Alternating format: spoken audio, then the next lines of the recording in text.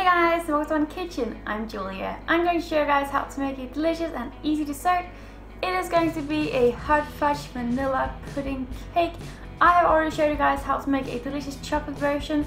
I did that on New Year's where there was Nutella in and some candied almonds. I'll just leave the link for that down below.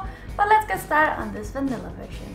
My oven is already at 155 degrees C convection oven or about 310 degrees Fahrenheit convection as well. In my bowl here I am going to add in my flour, sugar, icing sugar, salt and baking powder. Just stir it quickly together. And then in with my water, all of my vanilla extract. I'm using a good quality vanilla extract with the seeds in. So it is really nice and thick and you can really see all the seeds in there which I really think gives it a nice look. But you don't have to use an extract with the seeds in. And an egg and some melted butter.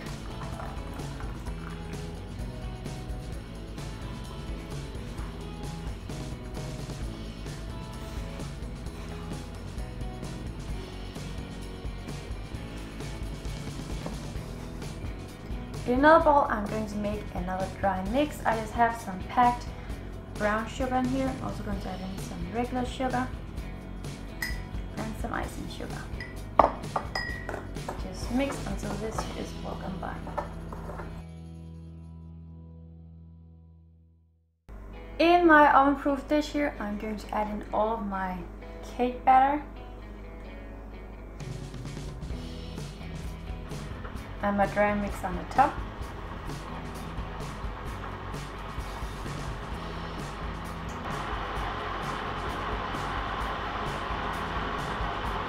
And last but not least on top with some boiling water and do not stir in your cake mix after the step.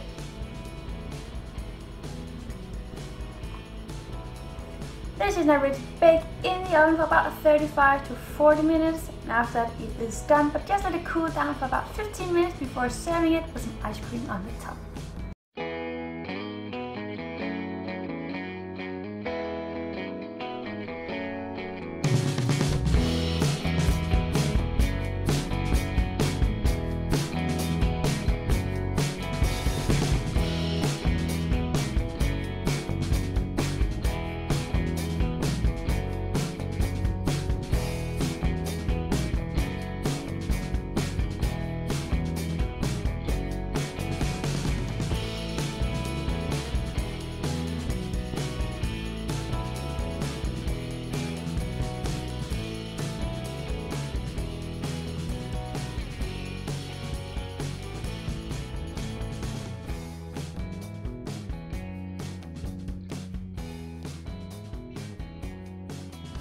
My cake here is now done guys and you really want it to be wobbly and kind of wet because that is all about this fudgy pudding cake and it kind of tastes like a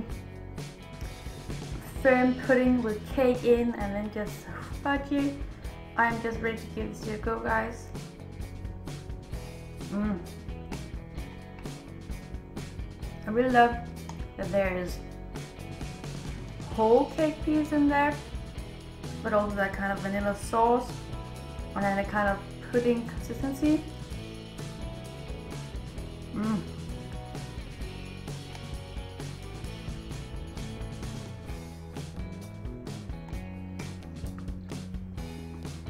It is delicious guys.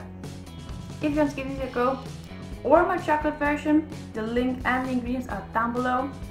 Don't forget to subscribe here I hope to see you guys again tomorrow. Bye!